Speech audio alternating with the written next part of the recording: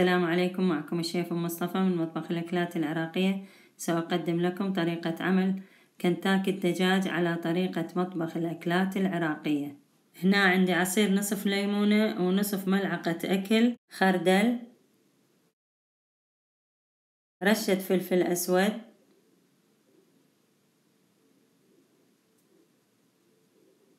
نصف ملعقة شاي ثوم مطحون ورشة زنجبيل. رشة فلفل أبيض.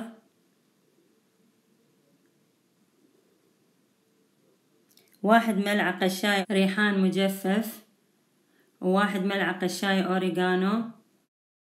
نصف ملعقة أكل ملح. وهنا ضفت ثلاثة ملعقة أكل آه، زيت الزيتون. ونصف ملعقة شاي. فلفل أحمر حار. هاي المواد كلها راح أخلطها وأتبل بيها الدجاج وأنا هذا المقدار مال ست أفخاذ وممكن الزيدون الدجاج والزيدون الخلطة تضاعفوها. هنا عندي أفخاذ وممكن أنتوا تستعملون دجاجة مقطعة تقطعوها وتتبلوها بنفس الطريقة وتتركوه مدة أما أربع ساعات أو من الليل للصبح أو ممكن ساعتين أقل شي ساعتين. حتى تشرب بهاي الخلطة ويصير طعمها طيب. لأن أنا ما راح أسلق الدجاج. أكو يسلقون الدجاج ويتبلوه ويقلوه بس أنا راح أتركه هنا وبعدين أحضر خلطة الطحين وخلطة البيض وأحضر الفتات الخبز. هنا شوفوا هنا مثل ما تشوفون دا أتبله زين وأحركه حتى يشرب من كل الخلطة وراح أغلفه وأتركه بهالصورة. هنا راح أحضر خلطة الطحين. واحد ملعقة شاي فلفل أسود وواحد ملعقة شاي آه، ثوم مطحون ونصف ملعقة شاي فلفل أبيض وواحد ملعقة شاي ريحان مجفف. هذا وواحد ملعقة شاي زنجبيل مطحون.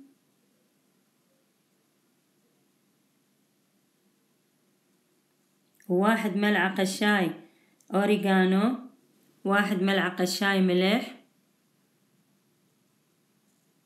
هاي المواد راح أخلطها وأضيف لها أيضا فلفل أحمر حار حسب الرغبة إذا ما تحبون لا تضيفون. هاي راح المواد راح أخذ نصها أضيفها للدجاج من بعد ما تنقع وقسم منها أضيفها للطحين. هنا رشة فلفل أحمر حار وقليل من الروزماري يعني واحد ملعقة شاي تقريبا وهاي هم حسب الرغبة الروزماري بس ينطي طعم طيب. وعندي هنا واحد كوب دقيق.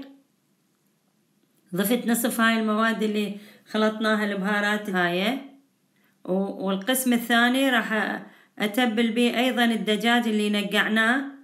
آه لأن قريب ما راح أقلي أني فراح ينطي طعم كلش طيب إله.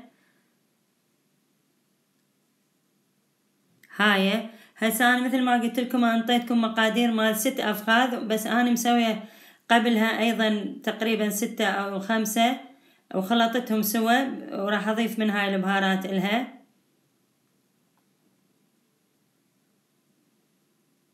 وممكن تزيدون من البهارات إذا عندكم مثل ما قلت لكم إذا عندكم هواي دجاج كمية كبيرة يعني. وهنا عندي خبز محمص أو يسموه فتات الخبز أو بقسمات أنتو شلون تسموه؟ هو عموما خبز يعني محمصيه بالفرن وطاحنيه هاي المواد أنا هذا الدجاج كل فترة أقلبه مثل ما تشوفوني حتى يتشرب بالبهارات. وهنا عندي اثنين حبة بيض. راح أضيف لها ثلث كوب أو ربع كوب إذا ما تعرفون الثلث قياسه آه، حليب. هذا للبيض.